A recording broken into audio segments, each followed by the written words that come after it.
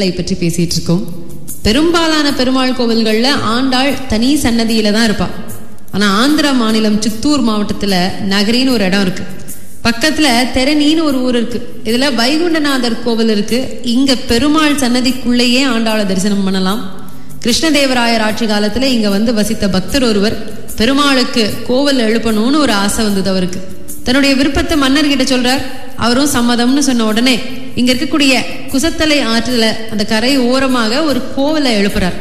சுவாமி வைகுண்டநாதன் அப்படிங்கிற திருநாமம் பெறறார். சுவாமியோட ஸ்ரீதேவி பூதேவி ஆண்டாள் நம்மாழ்வார் காட்சி கொடுக்குறாங்க. இப்படி ரெண்டு ஆழ்வார்களை பெருமாளினுடைய சன்னதிக்குள்ள தரிசனம் செய்யறதுங்கிறது அபூர்வம். வைகுண்ட ஏகாதசி திருவிழாங்கிறது இங்க ரொம்ப விசேஷம். அன்னைக்கு சுவாமி கருட வாகனத்துல எழுதுரளி சேவை சாதிப்பார்.